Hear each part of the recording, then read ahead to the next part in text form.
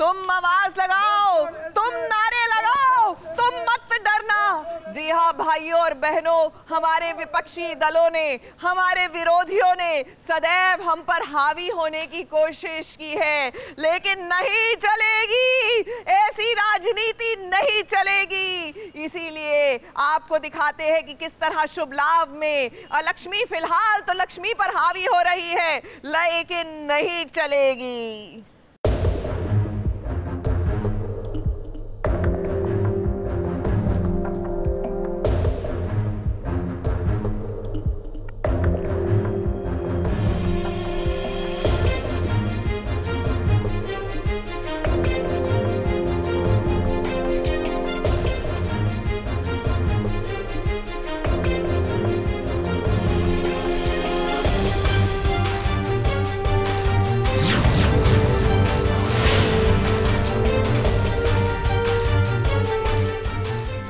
लक्ष्मी का साया सविता के परिवार पर अब धीरे धीरे गहराने लग गया है। ये देखिए, लक्ष्मी ने क्या कर दिया।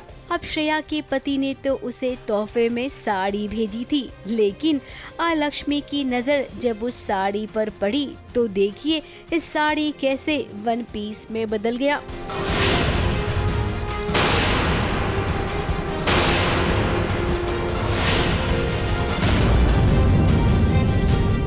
यूजुअली अगर आप देखोगे तो अलक्ष्मी सारी नेगेटिव लाइक होता ना कि एक पॉजिटिव है तो एक नेगेटिव है तो लक्ष्मी तो ऑब्वियसली पॉजिटिव है।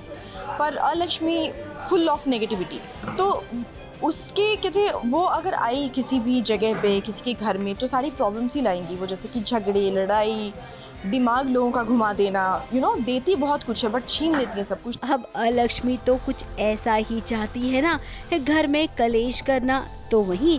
लक्ष्मी जिसका साया सविता के घर वालों पर हमेशा रहता है उस लक्ष्मी को भी अलक्ष्मी अब इस घर में आने नहीं दे रही है। ये देखिए, लक्ष्मी और अलक्ष्मी की कैसी जंग चल रही है।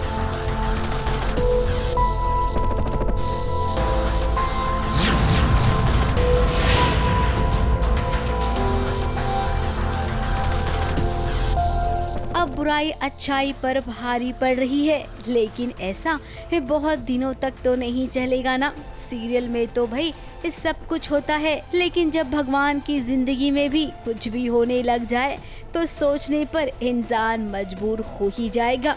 फ़िलहाल लक्ष्मी के लिए ये जंग बहुत ही बड़ी है क्योंकि अलक्ष्मी इतनी आसानी से सविता का घर छोड़ने वाली नहीं है। अब इस ट्रैक को देखने के लिए आपको भी आनंद आएगा, क्योंकि ऐसी जंग आपने पहले देखी नहीं होगी। मुंबई से सुरभि रन सिंह के साथ ABP news report